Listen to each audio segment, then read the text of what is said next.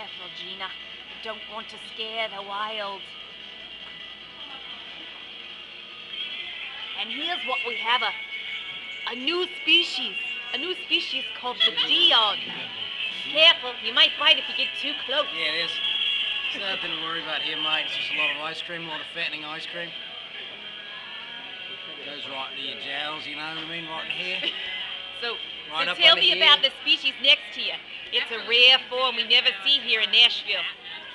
Well, to be quite honest with you, Kate, this is Boone Daughdrill. He's a drummer for Decemberadio.